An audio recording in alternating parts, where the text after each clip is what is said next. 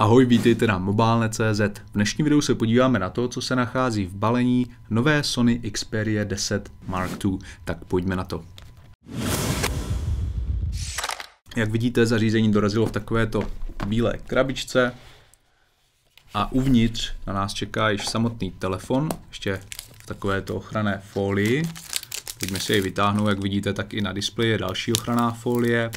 Já už jsem si telefon předtím vytáhl a zapnul jej, takže, a, takže vlastně se můžete podívat na to, jak velký je tady displej, ten má mimochodem uhlopříčku 6 palců, ale pojďme se podívat také na záda, která jsou skleněná, a poměrně velký lapač otisků pochopitelně, ale to je vlastně daň za krásu na něco, na co jsme zvyklí. Máme tady také modul fotoaparátu, který není nijak zvlášť moc vystouplý, což je určitě pozitivní. No a vlastně velká výhoda tohoto telefonu je to, že disponuje zvýšenou odolností, takže by měl vydržet ponořený do vody až po dobu půl hodiny do nějakého 1,5 metru by to měl zvládnout, což si myslím, že u telefonu za 10 000 korun opravdu velké plus, velké vlastně, velká výhoda navíc. No a navíc tady máme také 3,5 mm audio konektor, což je další výhoda. Slot pro paměťové karty a, a respektive nanosim karty je klasicky takto vytahovací, takže nemusíte používat, hledat žádné špendlíčky, což je také praktické, protože jakmile u takových telefonů poté ten špendlíček nemáte, tak tu SIM kartu vlastně nemáte jak vytáhnout, takže za to chválím a zároveň si všimněte, že se telefon nerestartoval, což byl takový neduch těch předchozích Xperia, protože při každém vytáhnutí se telefon restartoval a bylo to poměrně nepříjemné.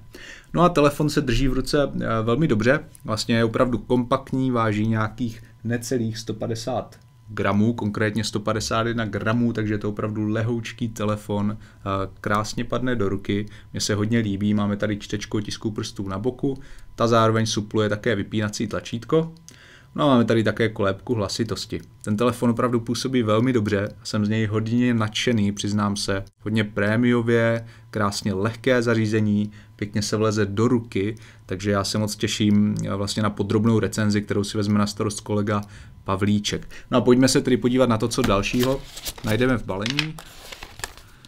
Tak, máme tady samozřejmě sadu uh, nějakých uživatelských příruček, abyste věděli, jak tady s tímto telefonem zacházet. No a dále, tady je napájecí adaptér, já se hned podívám, jaký má výkon. Takže tady tento napájecí adaptér má konkrétně výkon 7,5 W. Což je možná trochu zklamání, protože tady Sony Xperia 10 podporuje i rychlejší nabíjení než 7,5 W, ale tady tento adaptér má opravdu maximálně 7,5 W, takže budete muset případně zainvestovat do nějakého výkonnějšího adaptéru. No a dále tady máme sluchátka.